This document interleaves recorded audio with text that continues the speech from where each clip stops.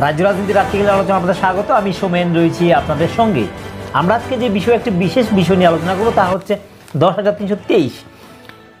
দশ হাজার তিনশো তেইশ নিয়ে দীর্ঘদিন ধরে আন্দোলন হচ্ছে রাজ্যে এবং দুই হাজার আঠারো সনের পর থেকেই যে তাদের উপর ভর করেই রাজ্যে একটা সরকার পালাবদল ঘটেছে এবং তাদের ভূমিকা ছিল, তাদের আন্দোলনটা অনেকটা বামেদেরকে ব্যাগাদায় ফেলেছিল বলা চলে।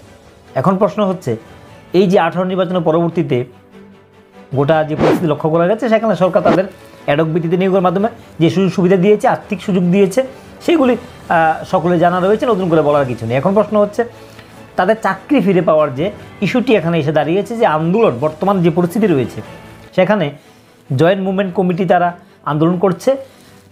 পঞ্চাশ দিন অতিক্রান্ত হয়েছে, আট নভেম্বর, আট ডিসেম্বর, পঞ্চাশ দিন অতিক্রান্ত হলো এই আমন অনশনের। হাফ সেঞ্চুরিগুলো বলা যায়, কিন্তু সরকার কিন্তু টু শব্দটুকু করল না।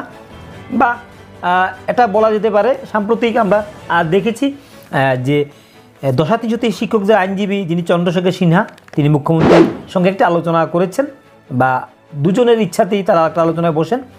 কিন্তু আলোচনার মাঝখান দিয়ে শিক্ষা মুখ্যমন্ত্রী যে আলোচনা ডেকেছিলেন সেই আলোচনার মাঝখান দিয়ে তিনি ব্যস্ততার কারণে আলোচনার সিদ্ধান্তে পৌঁছার আগেই বা একটা একটা ফলপ্রসূ কিছু একটা আসার আগেই তিনি ছেড়ে চলেছেন আলোচনা। তো পরবর্তীতে দশাতিশতী শিক্ষকের যে আইনজীবী ছিলেন চন্দ্রশেখর সিনহা, তিনি বলেছেন একটা ভালো আলোচনা হয়েছে, ফ্রুটফুল আলোচনা বলা যায়, সরকার সদিচ্ছা রয়েছে। কিন্তু এখন প্রশ্ন হচ্ছে, যদি আমরা শিক্ষামন্ত্রীর সঙ্গে যদি আমরা কথা বলি বা ওনার যে বক্তব্য রয়েছে, আইনমন্ত্রী তিনি, আমরা যখন ওনার সঙ্গে কথা বলেছি সাম্প্রতিক যে একটা আমরণ অনশন চলছে সেই জায়গায় দাঁড়িয়ে সরকারের ভূমিকা বা সরকার কী ভাবছে বা শিক্ষামন্ত্রী আপনি কী ভাবছেন? তিনি বলছেন যে, তারা এই যে অনশনে বসে, তারা আমাদেরকে বলে বসেনি এবং এই মুহূর্তে গিয়ে আমরা কি বলব? তাদের মাঝখানে ঢুকে এখানে এন্ট্রি দিয়ে তাদেরকে গিয়ে আমরা বলতে পারব যে আপনাদেরকে আমরা চাকরি দিয়ে দিচ্ছি। এই সুযোগটা নেই। তিনি এমন একটা বক্তব্য রেখেছেন, যদিও আমরা আপনাদেরকে সেই বক্তব্যটি শোনাতে পারব না। এটা নিতান্তই একান্ত আলোচনা এটা, ব্যক্তিগতভাবে আমরা একটা বিষয় প্রশ্ন সাংবাদিক হিসেবে আমরা করেছি ওনাকে কিন্তু আমরা যে বিষয়টা উপলব্ধি করতে পারলাম এই মুহূর্তে সরকারের চিন্তা ভাবনা হচ্ছে বা শিক্ষামন্ত্রী শিক্ষা চিন্তা ভাবনা হচ্ছে যে বিভিন্ন দপ্তর চাক- চাকরি বা জন্য নিয়োগ করা হচ্ছে, পরীক্ষা হচ্ছে, সেখানে যারা যারা পরীক্ষা দেবেন, সঠিকভাবে যারা টিকবেন, অনেকে চাকরি পেয়েছেন অলরেডি দশ হাজার তিনশো তেইশ থেকে যারা জেএবিটিতে অনেকে কোয়ালিফাইড করেছেন, অনেকে রিমেনিং টেট পার্টে রয়েছেন অফার পেয়ে যাবেন ইতিমধ্যে। তারা অনেকে আমাদের সঙ্গে কথাও বলেছেন, ত্রিপুরা পাবলিক অপিনিয়নে যে আমরা যখন এই বিষয়গুলো নিয়ে কথা বলেছি, তাদের জন্য অনেকটা সহযোগিতা বা একটা তাদের পক্ষ হয়ে আমরা কথা বলেছি, তারা এতে খুশি। একটা কিছু উপায় তাদের হচ্ছে, পথ হচ্ছে। এখন এই যে বাকি যাদের একটা বড় অংশ রয়ে যাচ্ছে, তাদের কি হবে?